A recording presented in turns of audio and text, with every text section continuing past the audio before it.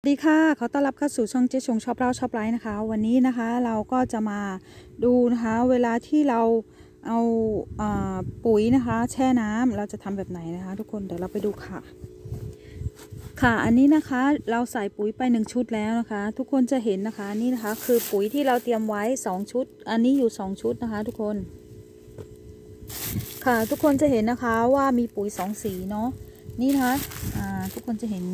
ชัดหรือเปล่านะคะ เพราะว่าตอนนี้เป็นแดดด้วยนะแดดแรงมากเลยทุกคนจะเห็นนะคะว่านี่นะคะ ข้างบนจะเป็นสีฟ้านี่เป็นปุ๋ยเคมีนะคะ ปุ๋ยเคมีนะคะ สูตร 16 นะคะ ทุกคนอันนี้สูตร 16 นะคะ อันนี้ก็จะเป็น ปุ๋ยอินทรีย์เคมีนะคะ ก็คือเราจะใส่ผสมกันนะคะ ให้ได้ 3 กิโลนะคะ อันนี้แล้วแต่เพื่อนๆเลยนะคะ ว่าจะใส่แบบไหนนะคะ อันนี้เคมีเราจะใส่ 1 กิโลนะคะ แล้วก็อินทรีย์เคมีเราจะใส่ 2 กิโลนะคะ ให้เป็น 3 กิโลนะคะ อันนี้เราก็ใส่ไปแล้ว 1 ชุดนะคะ เดี๋ยวเราก็จะใส่อีก 1 ชุดนะคะสำหรับน้ำสาว200ลิตรนะคะ ทุกคน นี่นะคะ เราก็แก้นะปากถุงนะคะ แล้วเราก็ใส่แบบนี้เลยนะคะ แช่อันนี้เราจะแช่ไว้นะคะ ประมาณนะคะ เราไม่ไม่จำเป็นที่จะต้องว่าประมาณกี่ชั่วโมงหรืออะไรนะคะ เพราะว่าอ่าบางทีนะคะ เวลาเราไม่พอถึงขนาดนั้นนะคะ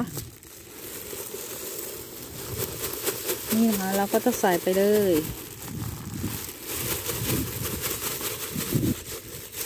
อันนี้เราจะใส่สองชุดสำหรับน้ำสองร้อยลิตรนะคะทุกคน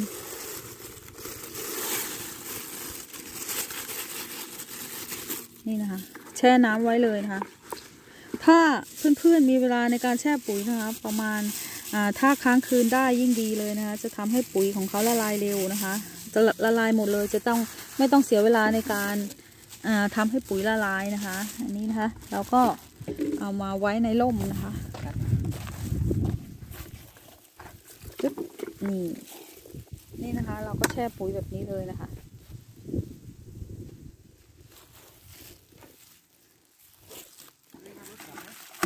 เอ